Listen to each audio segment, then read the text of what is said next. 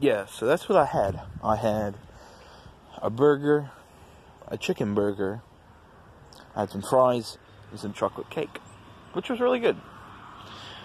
Um, anyways, yeah, that's what it was for that. And, uh, no Marty again today. I don't know if he's sick or what, but, uh, we grabbed food from a different dude the same dude from yesterday and the day before. So, yeah.